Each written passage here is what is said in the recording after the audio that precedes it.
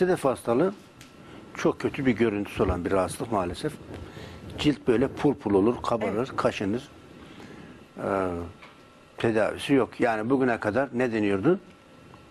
Uzmanlar, efendim keratin denen bir protein var. Lifli bir protein. Bu tırnak, saç ve cildi korur. Üzerinde çok güzel bir tabaka oluşturur. Koruyucu özelliğe sahip.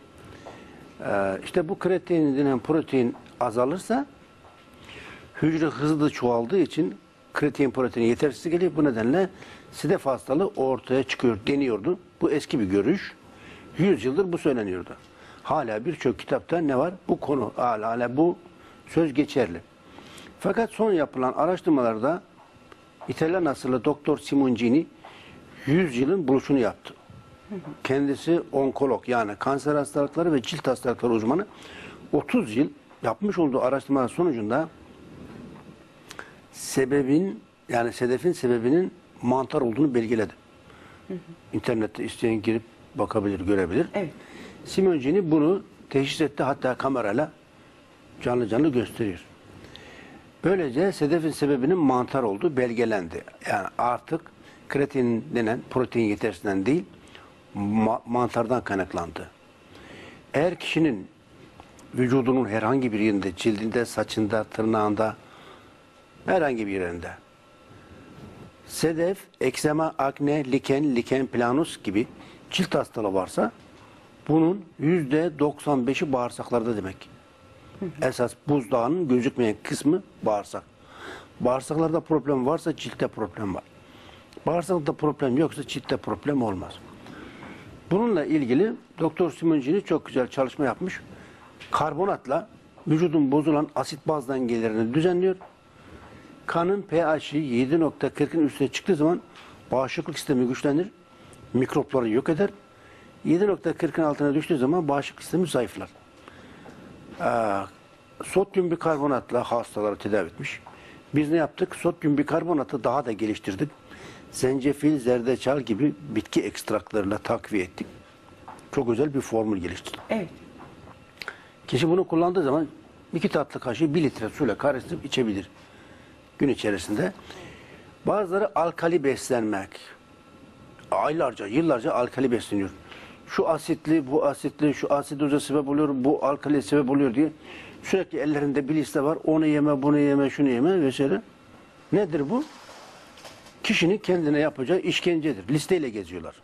Alkali besleneceğim, sağlıklı olacağım diye. Oysa sodyum bikarbonat normal bildiğimiz kabartma tozu. Pasta yaparken, ekmek yaparken kullanılan kabartma tozu. Karbonat. Ne yapıyorsunuz? Bir tatlı kaşığı bir litre suya veya yarım litre suya. İsteyenler iki tatlı kaşığı da bir litre suyla karıştırıp içebilirler.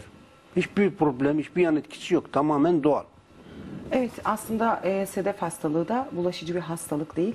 Ama e, maalesef e, insanın hastayı kendini çok rahatsız eden bir rahatsızlık görüntü itibariyle.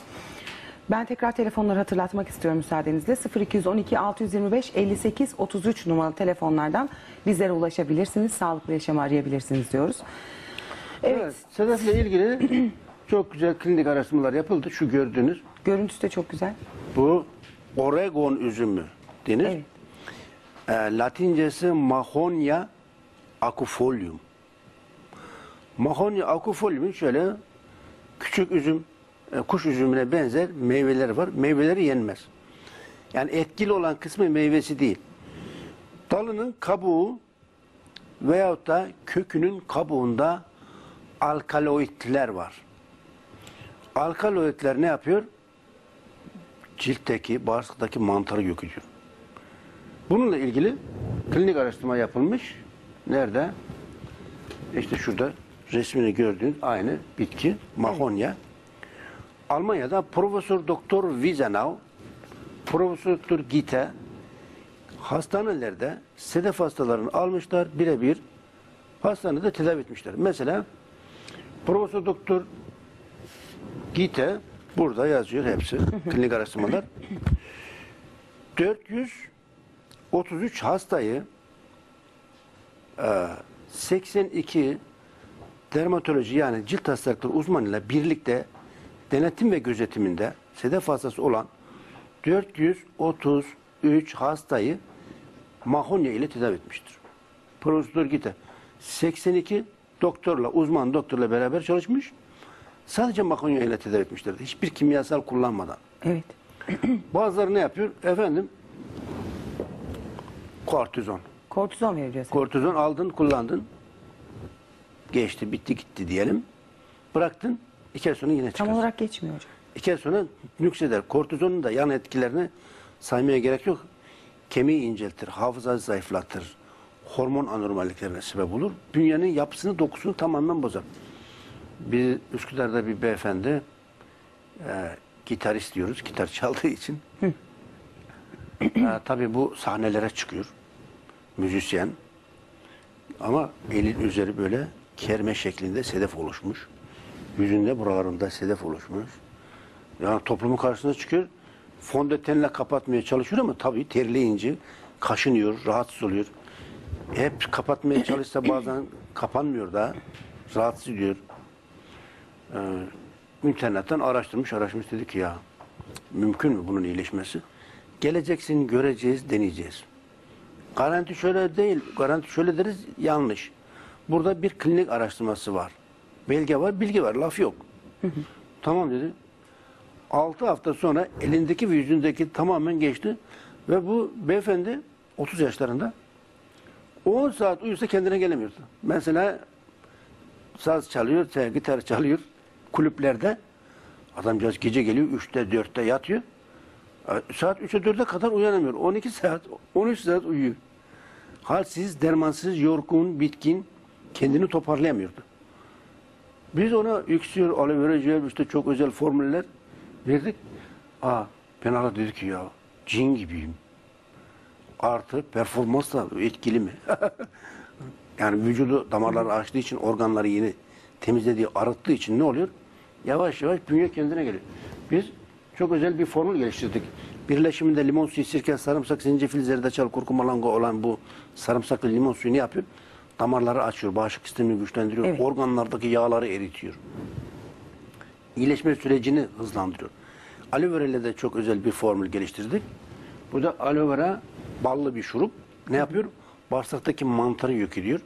Karaciğeri temizliyor. Bununla da ilgili yüzlerce klinik araştırması var. Mesela Tayland'da Bangkok Üniversitesi bununla yapmış olduğu klinik araştırmasında şeker hastalığına iyi geldiğini belgelemiş. Mısır'da klinik araştırmasında eksema, sedef, akneye iyi geldiği klinik araştırmalarla belgelenmiş.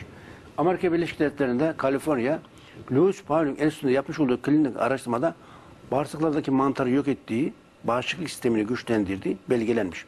Yani burada biz kombine çalışmak gerekir. Sadece sedefle ilgili değil. Bağırsaklar, karaciğer, sedef. Üçünü birden. Hastalığın köküne inmek. Evet, yani temelden Temel, rahatsızlığı ortadan kaldırmak gerekir. Zaten bunu Prosutur Gite, Prosutur Vizanal klinik araştırmalarla belgelemişler. Etkisi ispat edilmiş.